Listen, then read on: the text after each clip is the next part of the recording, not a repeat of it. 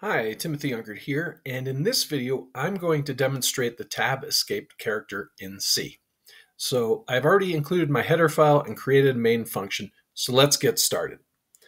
All right, so I'm going to print F, just a normal statement, uh, that I like supernatural because it's a fun escape. Okay, and I'll have a slash and an N here. So there's no tab escape. There's just uh, the escape character, and then we bring it down to the new line. And then now I'm going to print another print F.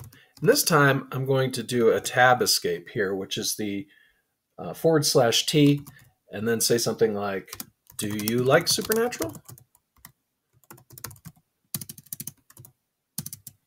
If I can spell it. I like Supernatural. And then do a slash n. Okay.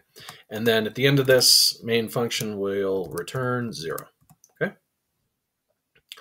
All right. So now I'm going to open up my terminal and compile this. So type gcc and then tab escape.c and we'll output it as tab escape. Okay.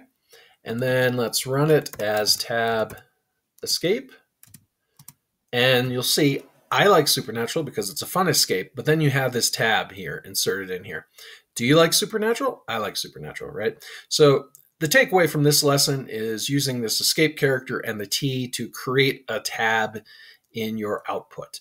Uh, there are many uh, escape character sequences in C. You can look them up online. I thought this one might be interesting.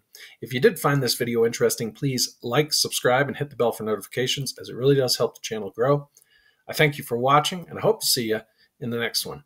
Have a great day. Bye.